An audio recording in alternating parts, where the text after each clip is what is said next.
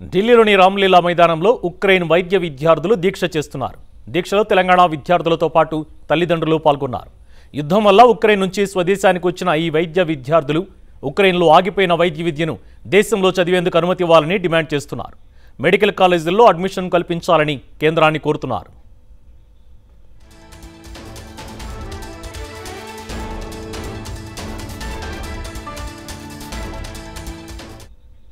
Ukraine వైద్య విద్యార్థుల లక్ష్యకు సంబంధించి పూర్తి డీటెయిల్స్ ఢిల్లీ నుంచి మా కరస్పాండెంట్ టీఎస్ఆర్ అందిస్తారు. టీఎస్ఆర్.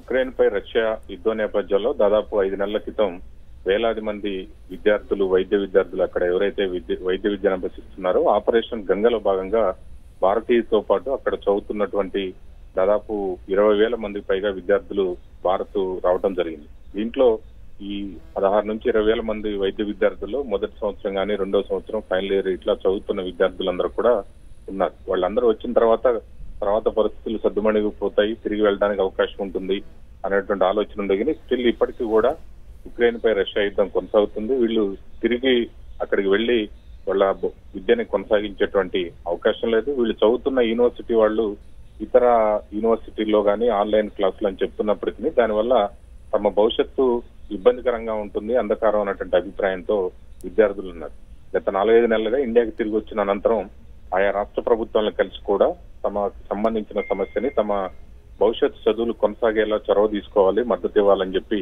ఆయా రాష్ట్ర ప్రభుత్వాలను కూడా కోరారు.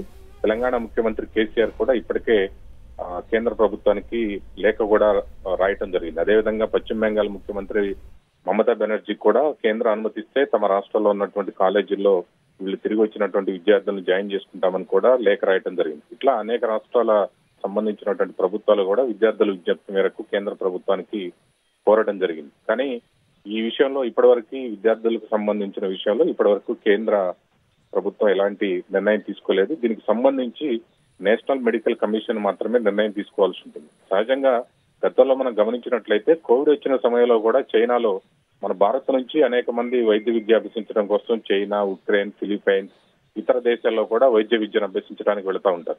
కోవిడ్ సమయంలో కూడా అనేక దేశాల నుంచి కూడా వైద్య విద్యార్థులు తిరిగి వచ్చినటువంటి పరిస్థితి. సో ఇట్లా ఆ సమయంలో కూడా తిరిగి వచ్చినటువంటి విద్యార్థుల కోసం ఎగ్జామ్షన్ ఇవ్వాలనేటువంటి డిమాండ్ ఉంది కానీ అది గతంలోనూ సఫలం కాలేదు. ఇప్పుడు కూడా ఆ సహజంగా ఏంటంటే విదేశాల్లో చదివిన వైద్య విద్యార్థులు తిరిగి ఇండియాలోకి వచ్చి ప్రాక్టీస్ చేసుకోవాలంటే భారత ప్రభుత్వానికి సంబంధించి ఒక కామన్ ఎగ్జామ్ ఒకటి ఉంటుంది. దానికి సంబంధించి ఆ ఎగ్జామ్లో రాసి అర్హత సాధిస్తేనే భారత్లో వాళ్ళు ప్రాక్టీస్ చేయడానికి అవకాశం ఉంటుంది. ఇది మ్యాండేటరీ అనేది ఉంది. కంపల్సరీ మా విదేశాల్లో అభ్యసించి తిరిగి వచ్చిన వాళ్ళు ఆ పరీక్షలో క్వాలిఫై అవ్వటం అర్హత సాధించడం అనేది. ఇప్పుడు వచ్చినటువంటి విద్యార్థుల్లో చాలా మంది అది కూడా ఫైనల్ ఇయర్ అయిన వాళ్ళ మాత్రమే అర్హత పరీక్ష ఉంటుంది. కానీ ఇప్పుడు యుద్ధం సమయంలో అక్కడ ఉన్నటువంటి అత్యవసర పరిస్థితులు ఇచ్చే విద్యార్థులందరూ దేశానికి తిరిగి వచ్చారు. దాంట్లో మొదటి సంవత్సరం చదివే వాళ్ళు ఉన్నారు రెండో సంవత్సరం ఉన్నాళ్ళు నాలుగో సంవత్సరం చదువుతున్నారు ఫైనల్ ఇయర్ చదువుతున్న వాళ్ళు కూడా వీళ్ళందరూ ఉన్నారు.